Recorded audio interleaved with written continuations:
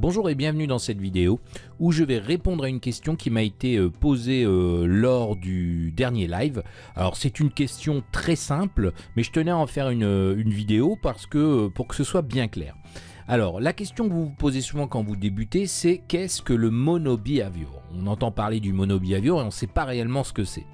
Alors faut savoir que euh, le monobehavior va être utilisé ici avec Unity et le C Sharp. Donc pour vous faire et vous expliquer tout ça, je vais créer ici un nouveau script C Sharp que je vais appeler démo et on va l'éditer dans Visual Studio euh, pour vous montrer un petit peu comment tout ça fonctionne. Mais avant toute chose, je vais vous dire qu'est-ce que le monobehavior. Alors le monobehavior c'est tout simplement une classe de base. Et c'est à partir de elle, de, la, classe de MonoBehavior, que tout script Unity va dériver euh, en C Sharp. Alors, euh, vous êtes obligé, je dirais, d'utiliser le MonoBehavior avec Unity.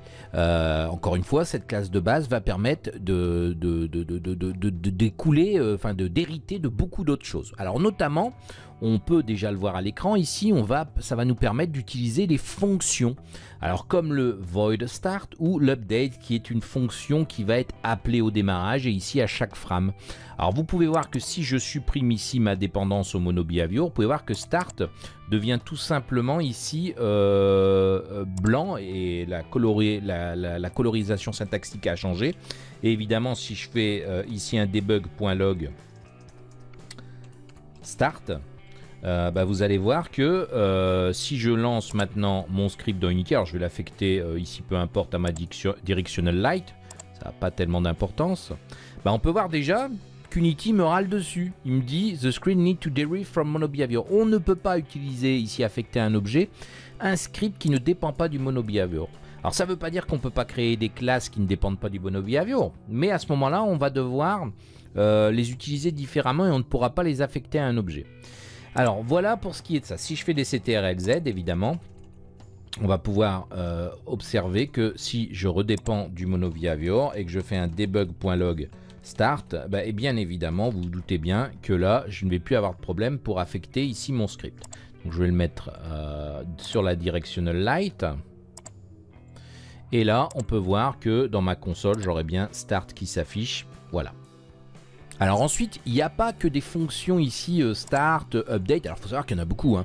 Vous avez le wake, start, update, fixed update, late update, on guy, on disable, on enable. Bah, tout ça va être utilisé parce que vous dépendez ici du monobehavior dans Unity. Euh, d'ailleurs, pour ceux qui font du C Sharp, ce ne sont pas ici des événements euh, en C Sharp pur et dur qui sont disponibles. C'est parce que vraiment ça dépend du monobehavior. Ensuite, on va avoir aussi des fonctions publiques. Par exemple, ici, start euh, coroutine. Bon, évidemment, j'en ai pas.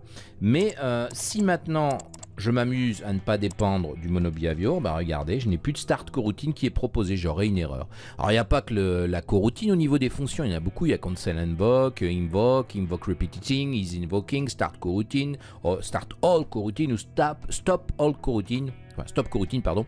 Voilà. Donc il y en a pas mal comme ça. Alors autre chose que vous avez aussi, je vais faire des CTRL-Z pour revenir sur le monobehavior, c'est que si vous avez la possibilité d'utiliser debug.log, moi ce que je fais souvent, mais on peut aussi utiliser print qui fonctionne de la même manière ici. Euh, voilà, hello world. Et ici, je peux tout simplement écrire dans ma console hello world. Voilà. Et donc, bah ça, c'est tout simplement euh, print une fonction statique qui dépend du monobehavior. Donc si je la supprime de nouveau, regardez, j'enregistre. Bon, évidemment, là, je vais avoir une erreur parce que mon script ne dépend pas euh, du monobehavior. On peut voir que print does not exist in a current context. Donc, ça veut bien dire que ici, print, vous pouvez voir, il est souligné, ça dépend ici du monobehavior. Je vais faire, devoir faire dépendre ici ma classe du euh, pour que print, euh, la fonction statique print soit disponible.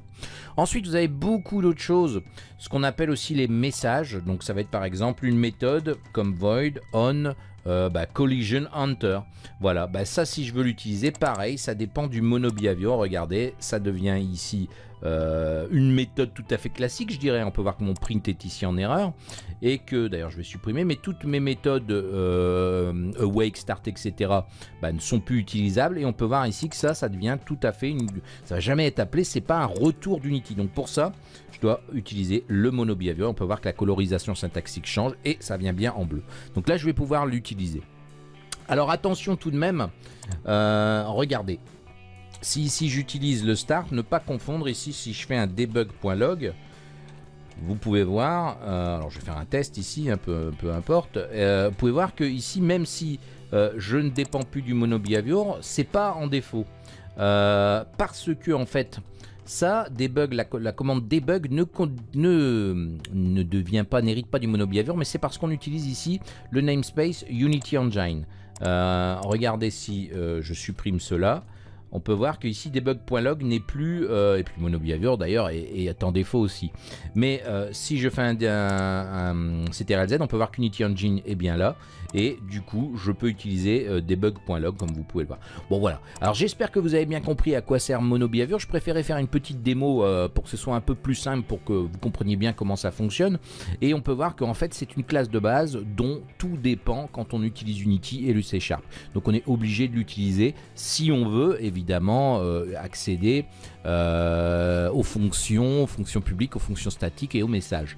Alors évidemment vous n'êtes pas obligé, encore une fois vous pouvez faire des, classes euh, des scripts qui sont des classes en C Sharp qui ne dépendent pas du monobehavior. Ça se fait souvent, notamment en PO, en programmation orientée objet, où on va gérer euh, bah, dans une classe par exemple les joueurs, euh, les ennemis, etc.